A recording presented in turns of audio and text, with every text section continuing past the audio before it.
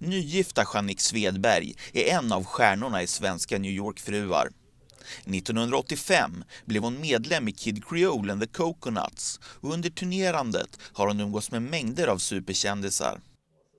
Och än idag ångrar Jannik att hon tackade nej till Prins filmerbjudande om att vara med i Under the Cherry Moon. Jag träffade honom, vi var på scen och jag hade en bh på mig givetvis.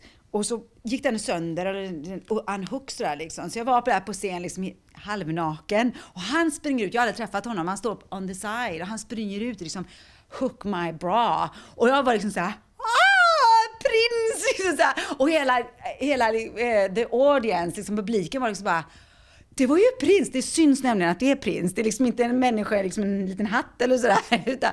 så att det var liksom, så det var första gången jag träffade prins. Det var när han fixade min bra. Du hoppade av någon inspelning med Prince, förstår jag rätt? Ja, han frågade mig om jag ville vara med i den här Under the Cherry Moon. Jag kommer inte ens ihåg, folk kommer ihåg den filmen. Det var en B-film tror jag.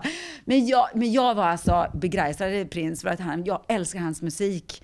Uh, och han frågade mig om jag ville vara med i hans film Under the Cherry Moon och jag sa nej. Det, det önskar jag att jag sa ja till. Men Kid Creole var också sådär liksom, no! We are finishing this tour with you. Liksom. Men varför sa du nej? Ja, jag sa nej, bland annat för att Kid Creole sa nej. Att han var liksom, du får, kan inte lägga av turnén. Och så plus att jag var tillsammans med en kille då, Sean, som jag kom till Amerika med. Och kände liksom, jag och Prins hade väl någon liten energi där ihop sådär. Kände, kände att nej, det kanske inte är sådär säkert vatten, vatten och vara med på hans film liksom. Så jag sa nej, det är nog bäst att jag är med Sean. Och Sean var, jag tror att Sean var lite såhär prins var hans rival eller något sånt där. Liksom. Så att han skulle bli skitsur antagligen, göra slut med mig eller något sånt där om jag var med på den. Så tyvärr sa jag nej. Jeanique bor tillsammans med sin make Jeff Hill och chihuahuan Blue på Manhattan. Och sen över 20 år tillbaka tillhör hon showbiz-eliten. I tidigare avsnitt har hon berättat om det missbruk hon lyckats ta sig ur och nu hoppas hon kunna hjälpa andra.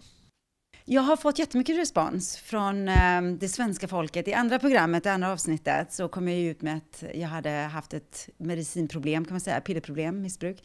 Och jag har fått ungefär kanske 200 mails nu från människor, svenska folket, som har skrivit och sitter i stugor eller apartments och sådär och har problem. Och det kan vara inte bara missbruk, men det kan vara att de är stuck in a situation eller något sånt där och som har kommit ut och sagt liksom, jag såg det på TV, if you can do it I can do it. Och liksom enormt. Jag känner mig, det är fantastiskt att jag kanske har nått ut till någon eller några som kanske ändrar sitt liv eller gör någonting åt det och sådär. Så att ja, jag har fått jättebra respons.